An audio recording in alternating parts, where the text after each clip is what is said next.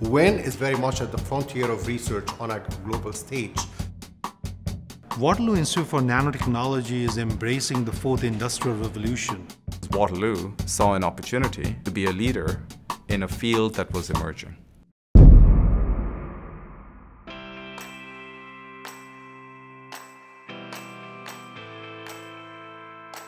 What drove the formation of WIN was a feeling that we had to bring together researchers on campus from different disciplines into one building where we could interact. It's bringing in people from different disciplines and it helps with the value it brings to this university. People work on different fields to come under one umbrella who can talk, who can work together. I think that's driving force. Otherwise, we isolate in different buildings. WIN is at the forefront of solving big problems that we have. With the various backgrounds of the people that we have at our institute, we can tackle these challenges together.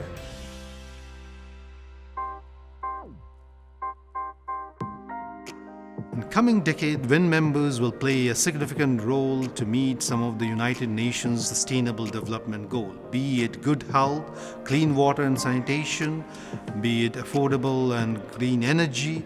WIN will play a pivotal role to providing solutions that will have both the societal and economic benefit for all Canadians. Nanotechnology is, is really becoming increasingly important in specific areas of nanotechnology where as a group of researchers we think we can really make a difference.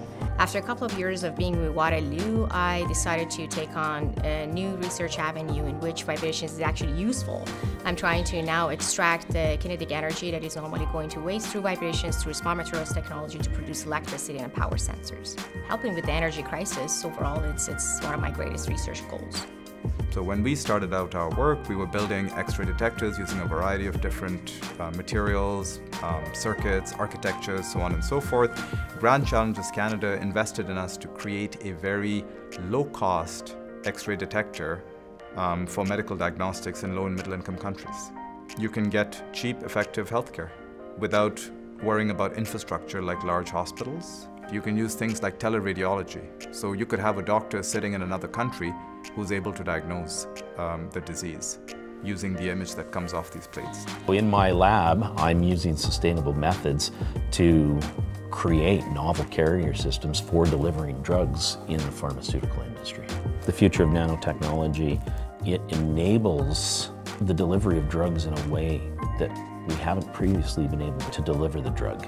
It enables targeting. It enables using lower dosages to help minimize side effects, enables new modalities for detecting disease.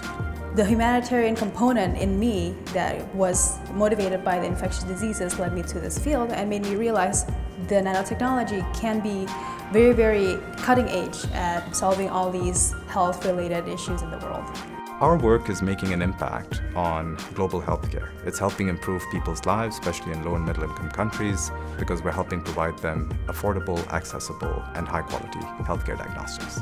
We do instruments, miniaturized instruments for chemical analysis. So what we're trying to do is bring part of the uh, lab to the sample, such as a miniaturized instrument. It's all new, it's transformative, uh, it's paradigm shifting. Uh, we, but the value would be to have answers on the spot when they're needed the most.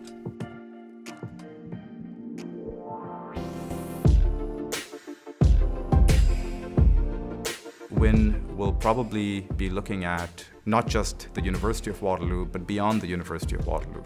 We are making more and more impact, not only in Canada, also internationally. WIN is perfect for me to um, meet people in the other disciplines. I can't really resist not to join WIN. I think the future is very exciting and I think WIN will continue to blaze that trail. Things that were thought impossible, now they're becoming a reality. The future is bright.